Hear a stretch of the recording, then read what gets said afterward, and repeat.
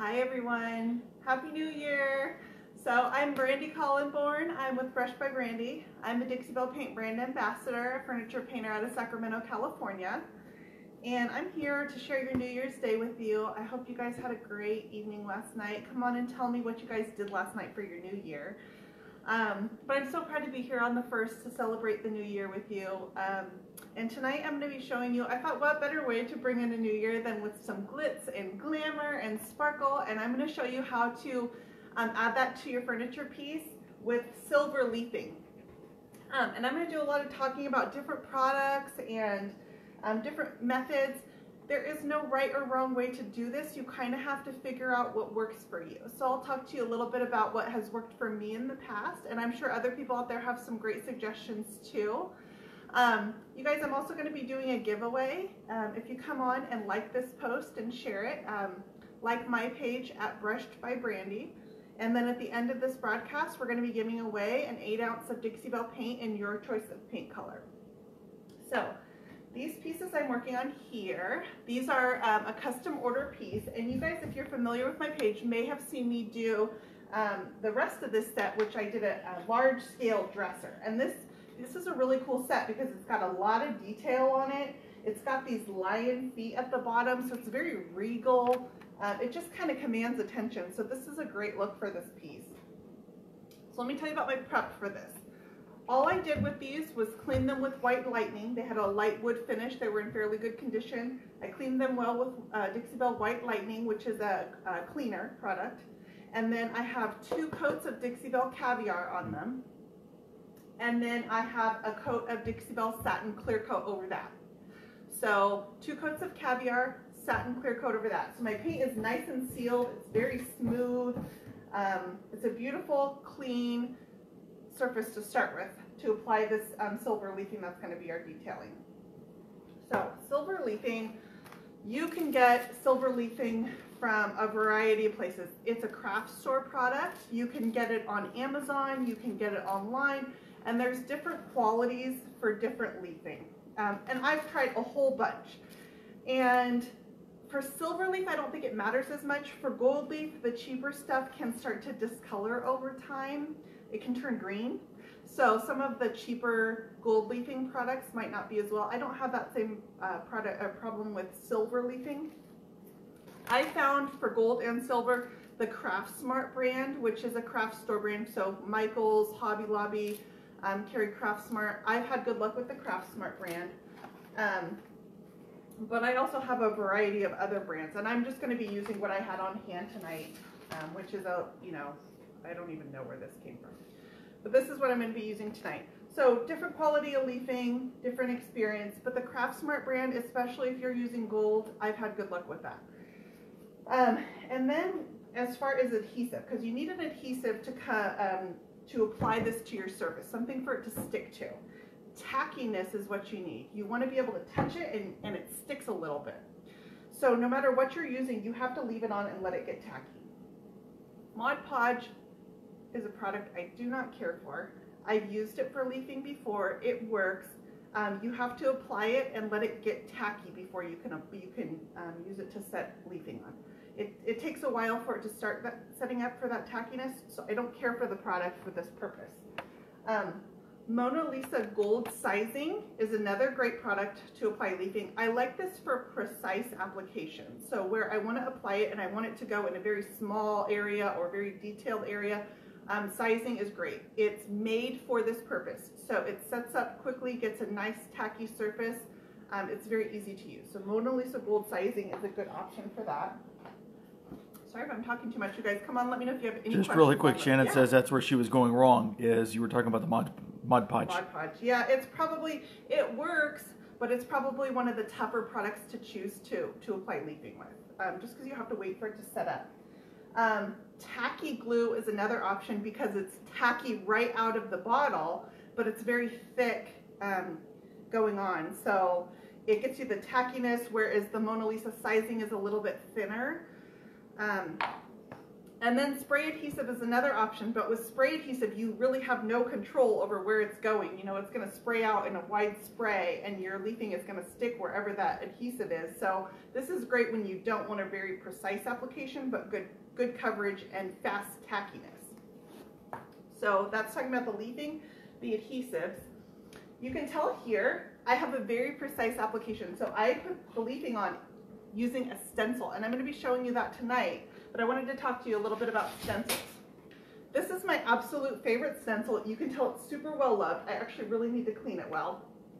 Um, this is a stencil by Redesign with Prima. This is their um, Imperial Damask stencil, and I'll put a leaf on the or a link on this thread after I get off here today. I use this stencil all the time. I love the pattern of it. It's a beautiful damask pattern. It's very rich and sophisticated looking. Um, so if you're starting out applying leafing with a stencil, I will say the larger your stencil pattern is, the easier it is to apply. So this has a fairly large stencil pattern. It's not super intricate. So this is going to be an easier um, stencil to leaf with than a more intricate one. Um, this is an example of a very intricate stencil. This would be difficult to leaf with because it's, it's just so, it's so much small, fine detail. Um, so it is possible, but you're not going to get as clean of, of, of, a pattern with this. And if you're a beginner doing this for the first time, this is not going to be an easier one versus this larger pattern here. These are all Redesign with Prima stencils that I have out here. Um, so tonight, I'm actually going to be using my Dixie Belle Satin Clear Coat to apply my leafing with, and I'm going to show you um, how to apply it with the Satin Clear Coat. I'm also going to be using some spray adhesive. So Satin Clear Coat um, is a great adhesive product. Um, actually, any of the Dixie Belle Clear Coats are a great adhesive product for applying leafing, for applying decoupage. It can be used as an adhesive product too. So I'm going to be using this here tonight.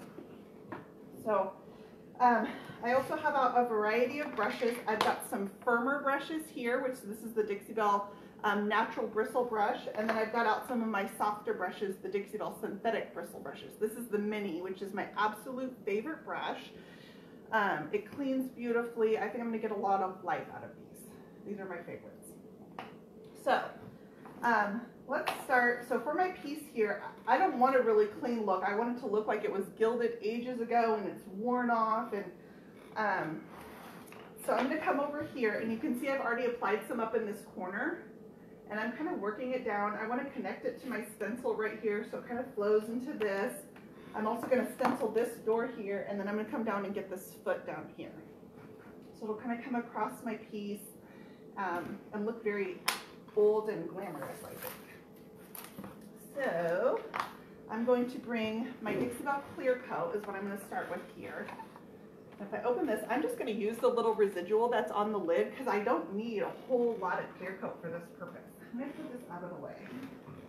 Um, and you'll see why in a few minutes because you're going to get a lot of flyaways, the waste from your leafing. So Karen just has a quick question. Yeah. How did you get the caviar not to have any streaking when you applied oh, it? here's the secret, guys. Here's the secret to that.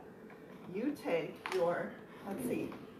Um, let me grab a bowl. Be hang, hang on one second.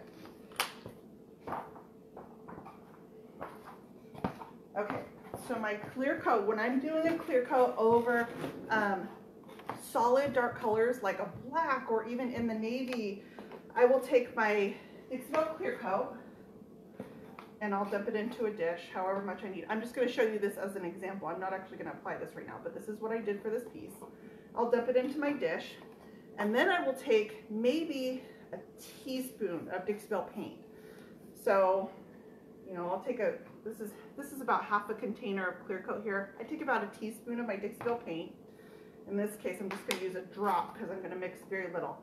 I will tint my clear coat. Um, so I'm just going to take, you know, a tight, because I'm only mixing this as a sample, tiny bit of my caviar paint and mix it into my clear coat. It doesn't take a whole lot, you guys. That was the tiniest bit of paint and it tints the clear coat really quickly. So I tinted my clear coat with my paint color.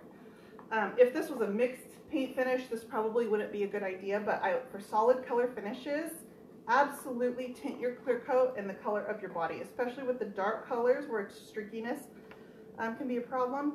The other thing you want to do is make sure you've stirred your clear coat very well. Um, especially using Belle Gator Hide, there can be um, particles that settle at the bottom. So every time, shaking is not enough. Every time you open that container, get in there with a spoon or a stir stick and stir up the stuff that's on the bottom. Make sure it's really well mixed. If it's not well mixed, you're gonna get streakiness too. So make sure it's mixed. Tint it if you can. This also works great for whites. To keep your whites nice and pure, you can tint your clear coat with your white paint. So I tinted my clear coat with my Dixie Belle paint. That is a great tip for really dark colors to avoid. So Deidre wants to know, can you also tint your gator hide? Absolutely, yes. It's especially gator hide. Gator hide's probably one of the more sensitive top coats. So yes, you want to make sure it's really well stirred and and tint it if you can. Like I said, if it's a if it's a blended finish, um, stirring in your paint colors. Yeah. Do you know what that little stool is? Daddy has one and I have one. Or Okay, So I want so one. where was I? I'm cold. Back to my clear coat. Put the lid on want.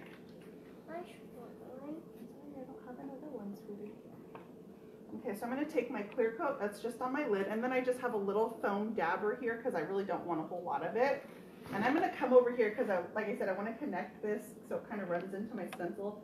And I'm just gonna dab it into my corner. This is the same clear coat I have on my piece. So, so for example, if you used gator hide, I would use gator hide for this. If you used a flat top coat, I would use flat for this. And that way, um, where there's holes in your leafing, your clear coat will match the same sheen of what's underneath it. So I use satin on this, so I'm using satin clear coat. You could Can I use, sit next to the heater? yeah, go for it. Because I ain't gonna get warm Go now. ahead, sweetie. You could use flat clear coat or you could use gator hide for this as well. Okay, so I've applied some of my clear coat. I'm gonna let this actually set up for just a minute. I want it to get a little bit tacky, so I'm gonna let it dry for just a minute. And while I do that, I'm gonna come over here and talk to you about um, putting the stencil on, and then we'll come back to that corner in just a second. So when I'm stenciling, like I said, this is a very, it doesn't have to be precise, but I like to spray the backside of my stencil with spray adhesive. Um, this kind of stinks because it means you have to clean your stencils well. Um, Goof Off works well for cleaning off spray adhesive from your stencils, but you do have to maintain them from doing this. Um, so I will spray the back side of my stencil just with a misting of, oh, I got some leaking stuff on there. Okay, so I'm gonna spray the back side of my stencil with my spray adhesive. And then I just have a little bit of painter's tape up here because that's gonna hold my stencil in place when I place it onto my piece. And I'm gonna line up my pattern kind of in the center of my door here where I want it. And it's got some spray adhesive on it. So when I press on it, it's gonna lightly adhere to the front of my piece. That spray adhesive does not transfer to the piece. It's gonna stay on my stencil. I don't have enough on there, let me mist it again.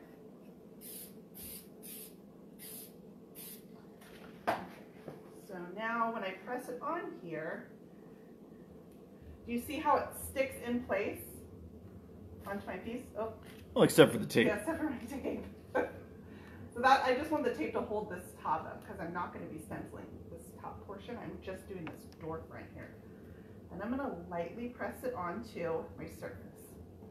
I'm keeping an eye on my clear coat over here. Dixie Belle clear coat will start to turn clear as it's drying. It's still pretty white, so I know I've got a little bit of time to wait for that to set up a little bit, so I've got that tackiness. Okay, so I've got this applied here. It's loosely applied. It's not perfect because I've got some um, ridges around the edge of my doors. So it's loosely applied, and I'm going to take my spray adhesive again. Um, like I said, if you wanted a really precise clean application, you'd probably want to use either your clear coat or gold or leaf sizing on here. But I don't want a precise application. I want it a little bit random and sporadic. So I'm going to take my um, spray adhesive. I'm going to hold down some portions that are next to the ridges. This is just what works for me. There are other ways to do this too. And I'm going to spray over my stencil. Oh, I actually, two. My boys are out here, guys. This is my four-year-old Logan. Came out to join us. I'm a stay-at-home mom. I have three boys, and I work home with my kids. Yeah. So they're very much a part of what we do here. Okay, so I've got my spray adhesive sprayed over my stencil. And I got my heater. Yeah, it's sitting next to the heater. It's cold. If I take this off, tell me if you guys can see this on camera. Can you see that? Kind of a shadowy Can effect, you but see yeah. the shadow of the spray adhesive around the stencil? So now that's where the tackiness is. Now when I stick my leafing onto here, it's going to stick where the stencil was applied and that um, adhesive went. So you kind of want to avoid getting your fingers into your leafing because it's very, very sensitive and it will stick to whatever you touch. I have spray adhesive on my hands right now. It's going to want to stick to me. So what kind of adhesive is that?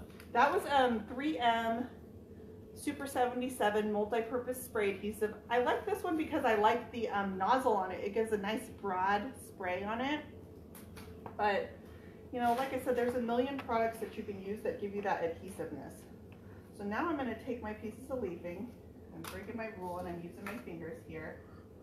And I'm sticky. So, and then I'm going to use a soft brush and just press it into place. This is where you want a soft brush. I'm going to get it all pressed into place and then I'll come back and I'm going to remove the parts that I want to take off. I'm using a soft brush, pressing it in. That was my stencil that just fell.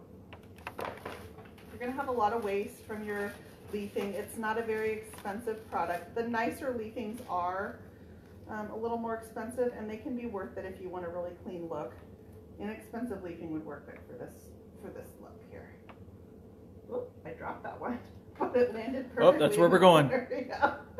Um, happy accidents. That's the name Mama, of this can you game. go pick that thing up?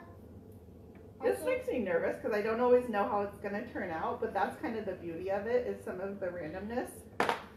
That one. So now, can you address once again when you get the adhesive on aside from something on the painted surface? No, I'm going to turn my heater off because it's wanting to blow. Oh, It's oh yeah, yeah. blow Okay. my leafing up. Here, let me. Stencil. I'm picking up the stencil. Sorry, guys. I'll put it You guys, my husband Sean is here to answer any questions you have. So what do you do if uh, you end up spraying your spray adhesive on the painted surface? You can remove it with goof off. Go back and um, uh, let it dry first. Let everything dry, and then um, go back and clean your surface with goof off. Mom, look. I, I put it on again. Thank you. Is this where it's supposed to be? But as far as the piece is concerned, come over here and sit down. Yes, yes, clean. Because I've sealed my paint here, so if I need, if I got some, you know, on a little part that I don't want adhesive on, I will apply my leafing, and then I'll come back and, you know, clean whatever spot has tackiness on it that I didn't intend. So you can, I can clean it. My paint is nice and protected with a clear coat.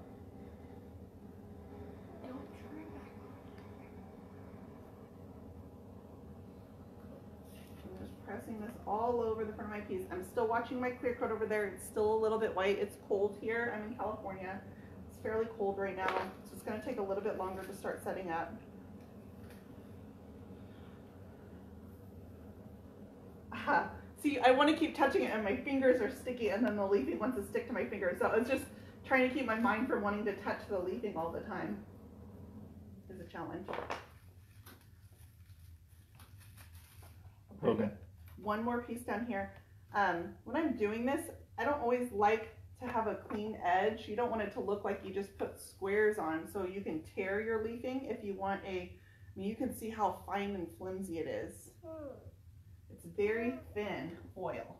I mean, this is this is not actually gold leaf. It's a very thin or silver leafing. It's a thin foil. It's not real silver by any means.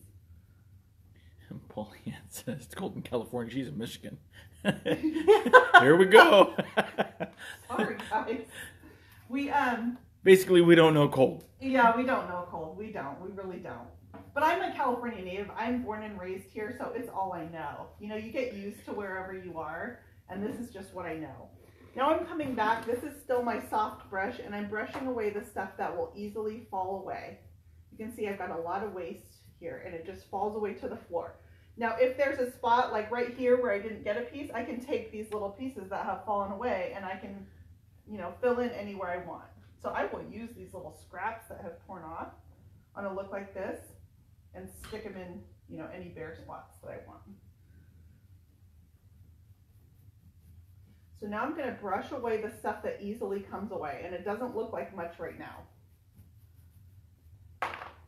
Um, I have a big firm brush out here, and I'm just gonna, I'm just using this to keep my area clean, because I don't want these little flyaways to get stuck. And now I'm gonna come back and start brushing away the stuff that's not stuck in.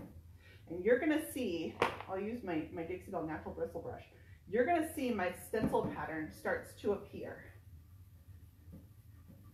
And this is where I can kind of use a firm hand to really brush this away and get it out of this, you know, the blank areas of my stencil are what I'm trying to get it out of.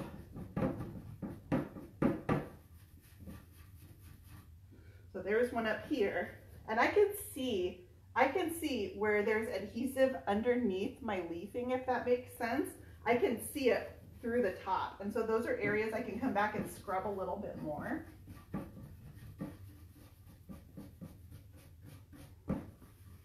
See how I just did this little area down here and this part of where my pat stencil pattern is, it starts to reveal itself.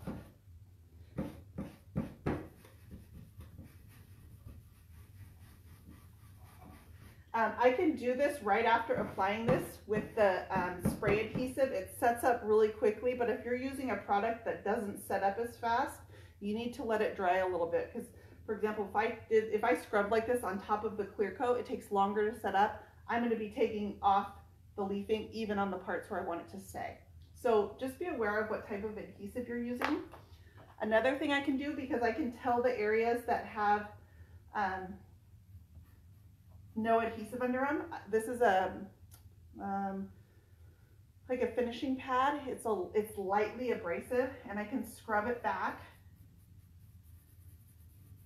from the spots I don't want it to stick on. And there you see my stencil pattern is revealing itself even more. Here, I'm gonna try to zoom in a little better. It's kind of cool to see that start to come. I'm just trying to get my leafing off of the areas that don't have adhesive underneath them. Now the abrasive pad does also start to um, scratch the surface of your leafing. It can take away the shininess. I'm okay with that here because it's a very rustic look. But if you're doing something precise and um, delicate, you may not want to do this with the abrasive. I want it to be worn and um, here's a spot down here that's going to reveal itself.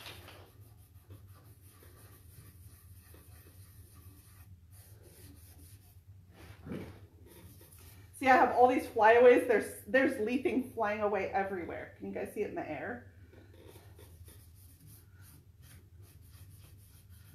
You know, that's really pretty. It carried up here a little bit onto this molding.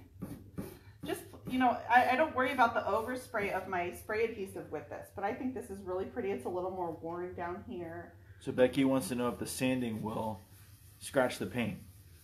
Um, okay, so when I'm done here, I don't have a problem sanding my paint. Um, I'm going to apply another clear coat over this to protect my leafing. Um, I'll clean all these little um, flyaways of leafing off. So I'm going to wipe it down nice and clean and I'm going to put another clear coat over this.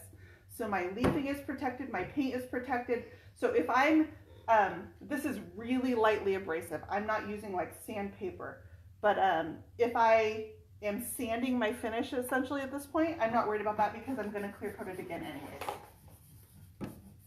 I want to protect this, this finish after I'm done.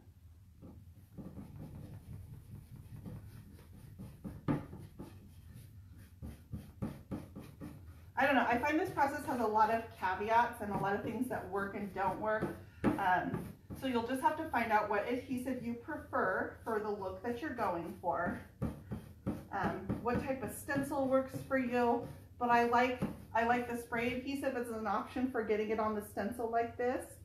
And I feel like that's a nice, pretty random look. Melissa said the, she's got a point now that I look at it.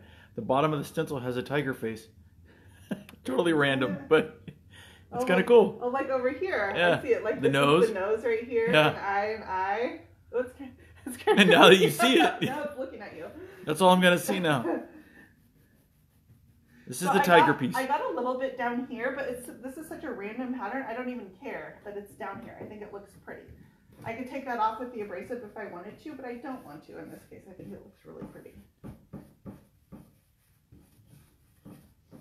So I like this. And then I try to keep my workspace clean because as you move, I mean, this stuff is flying in the air.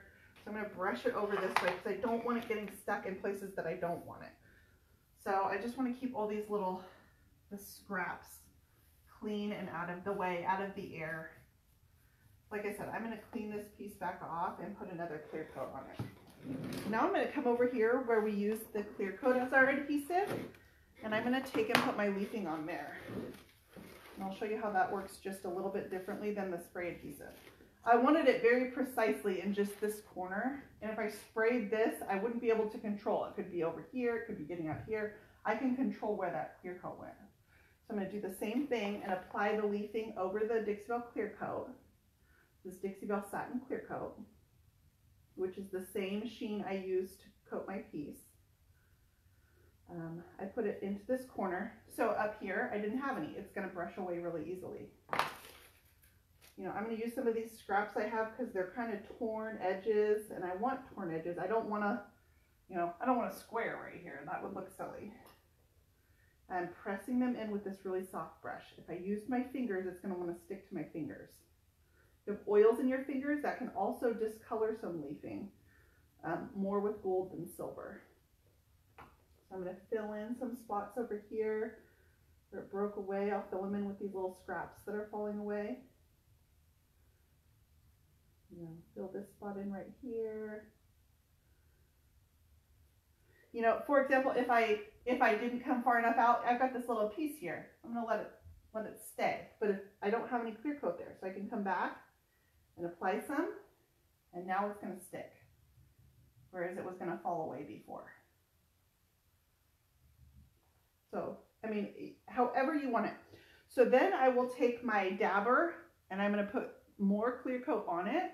And now I'm going to come over the top and this is kind of sealing the deal. This is going over the top of my leafing. It's pressing it into places that it is. Once you get the, you know, the placement that you like.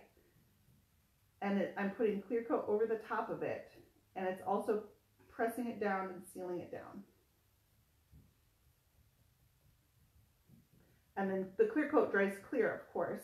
So once it dries, it's kind of white now, but once it dries, it's going to hold my um, leafing in place and it's going to dry clear and it's going to protect over the top of it. So it's serving, it's doing double duty right now, if that makes sense. So, you know, now I put clear coat over the top. I could come back with, I'm going to grab a little scrap over here say I want to fill this, I don't know, where do I want to fill in? Down here maybe. And I can keep adding pieces until I get, you know, all the coverage that I want. I want this to be, you know, kind of broken up and um, random so I can fill it in as much as I like or take off as much as I like. Um, I'll press these in. And then I'm going to come back and kind of seal the deal with my clear coat over the top of it. I don't like how it's got, see it's got that square edge, like the square edge. So if you kind of mess it up, there, it just took off that perfectly straight little edge I had going on. Now, just to recap, the color that you're using um, of the piece? My piece is two coats of Dixie Belle paint and caviar, which is a nice, rich, pure black. Um, two coats of Dixie Belle Caviar, and then one coat of Satin Clear Coat is what's underneath my leafing. So two coats of Caviar, one coat of Satin Clear Coat, and then I'm putting my leafing on top. And then I'm going to come back after this is dry and I'm going to re-clear coat the entire thing. All of it. The whole body. That's going to protect my leafing. It's going to seal it in place and it's going to protect my paint. So here's kind of where I am. I'm going to let that dry. I'll come down here and do some on this foot too so it carries across. Um, this is going to be a three-piece set. So each piece is going to be a little bit different, a little more random, and that's okay. I am covered in silver leafing right now. It's on my fingers. It's on my clothes. Um, I'll have to sweep this all up. Make sure you close your paint lids because all the flyaways are going to want to land in it. You don't want to leave anything open during this process. So that is that is kind of it, you guys. Um, if you have any questions, let me know and I'll come on this thread and answer them after the fact. There's a lot of just um, that was the wrong lid. A lot of figuring out what works. What's the proper adhesive, and you can try different things. But I like I like using the um, Dixie Belle clear coats. I like spray adhesive, and I like gold leaf sizing, depending on you know whether it's a really broad or specific application of leafing. All right. So um, you guys want to give away some paint? If you liked my page at Brushed by Brandy um, and shared this post, you're eligible to win an 8 ounce of Dixie Belle paint. And I'm going to come on and choose a winner right now, you guys. Let me step behind the scenes where the magic happens.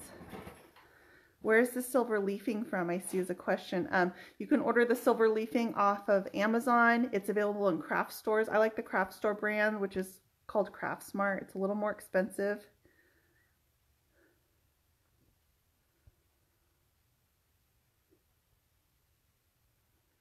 All right, you guys, I'm looking for a winner. All right, you guys are ready? Our winner tonight of an 8 ounce of Dixie Belle paint and your choice of paint color is Lisa Wolf Coy. So Lisa, congratulations. Thank you so much for watching and hanging out with us on your New Year's Day. Not that there's anywhere open and you guys were up way too late last night, so what else to do but watch me paint? I know I'm exhausted. I was up till 4 a.m. this morning hanging out with high school friends around a fire pit. We had a blast last night. We had a really good time. Kids all played together. Um, I don't drink, but we just sat around talking. So it was a fun night. I didn't go to bed till 4 a.m., which is why I look like this today. But congratulations to Lisa Wolfcoy. Thank you guys for hanging out with us on New Year's Day. Lisa, if you message me on my page at Brushed by Brandy, I will get your information and we'll get an 8 ounce of Dixie paint um, sent out to you. You guys, I'm going to be live every Thursday in January um, I'm going to be live on the Dixie Belle page, the same page, at 9 p.m. Eastern every Thursday in January. We're going to take a piece and we're going to start it from start to finish. Um, every Thursday we'll work on the same piece. So at the end of the month you essentially have a full tutorial um, on a piece. So come follow me this month every Thursday. And then you guys on the 6th, um, I get to paint with Kristana. So Kristana is another Dixie Belle brand ambassador. And on the 6th we're going to get together and we're just going to have some fun. Her and I have a blast together. It should be fun to watch, um, but we're going to come on and paint together. So that's on the 6th, and then every Thursday in January you get just me and um, working a piece from start to finish. Happy New Year, you guys. I'll come on and answer any questions you have, um, and I'll talk to you guys soon. Thanks for watching.